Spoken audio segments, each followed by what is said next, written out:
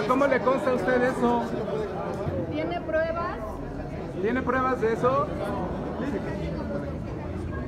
¿Cómo lo puede comprobar, señor? ¿Cómo lo puede comprobar? Pues ahí están tus familiares. ¿Cuáles familiares? res- Yo no tengo familiares. dinero para que nos ataques. Yo no tengo familiares en la alcaldía, señor. ¿Cómo usted puede comprobar eso? No, vamos a... Alcalde, ¿alguna manera de comprobar sus dichos, alcalde? Claro, tengo la relación, ahí estaban sus hermanos y familiares. Yo no tengo hermanos, fíjese, soy hijo único. Bueno, ¿Qué le primos, parece? primos. Y, y la familia entonces que tiene Roja Serafín. No, yo no, ninguna relación. Yo soy el responsable de nombrar a todos los funcionarios. Ninguna relación tiene. Y lo podemos comprobar. No hay nepotismo. en- No hay nepotismo.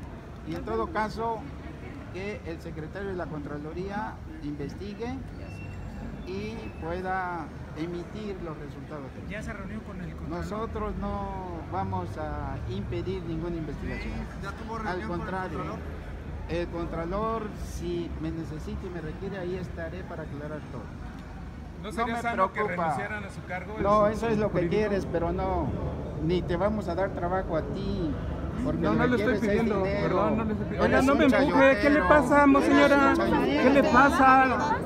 ¿Qué le pasa? Oye, oye, alcalde, ¿qué te ocurre? ¿Por qué te pones agresivo? No está agresivo. Ya déjenos sacar la foto. ¿Por qué te pones agresivo, alcalde?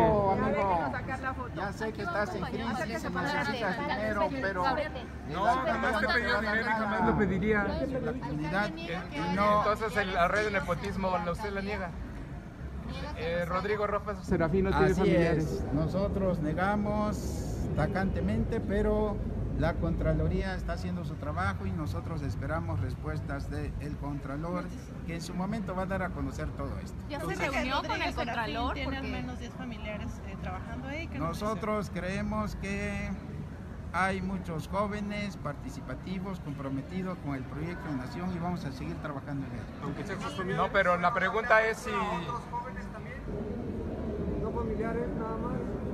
Hay muchos periodistas que reciben para poder atacarnos, entre ellos nuestro amigo Alberto Cañón.